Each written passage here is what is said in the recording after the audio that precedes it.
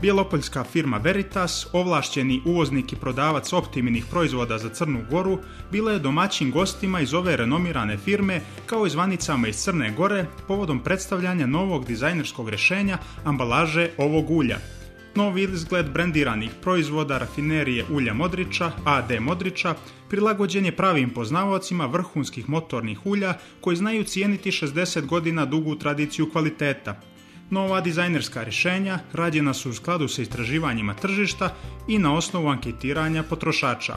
Veoma dobro poznata kvalitetna ulja od sada se pakuju u bolju, jednostavniju, elegantniju i lako prepoznatljivu ambalažu koja sadrži sve neophodne informacije o proizvodu.